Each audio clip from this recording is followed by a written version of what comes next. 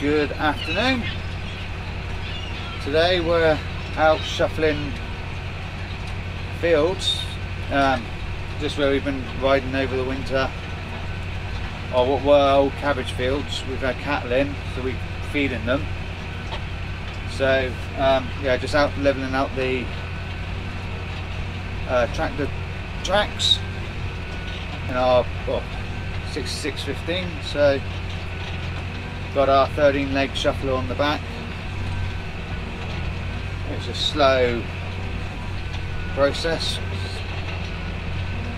Well, you can't beat over them fast because you just damage your tractor. So yeah, it's a slow process what I'm doing. If you enjoy my videos, please hit the subscribe button and give it a thumbs up. Thank you. Yeah, first lot of field work I've done this year. I was in this exact field that we're in now last week. And we had a week of rain and that lot so last well, week before was wet. This week's been dry and surprising what a, how difference the week's been. So from yeah being soaking we was in here moved some cattle out of this field into another field and yeah it was a mess. Couldn't really travel in it. I was leaving ruts everywhere and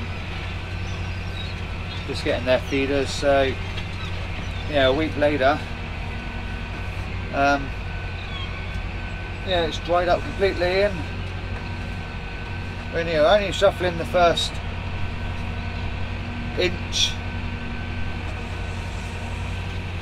Yeah first inch inch and a half just want to get some air through it and get it dry on the top. I've got it set on the depth wheel. So it's just keeping itself at the same height.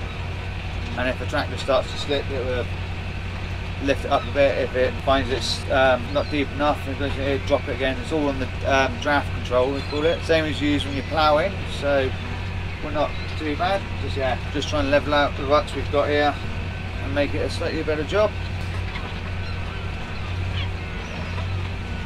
I've been ordering up bits for the um, my 35. I haven't done anything with it yet. I was able to do bits with it over winter, but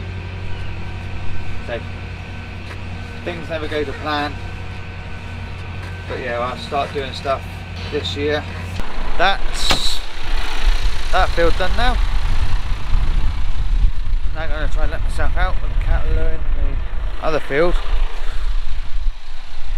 I've just changed the back the uh, battery on the fencer for them. Those in the corner and up in this field. Yeah, drop the fence.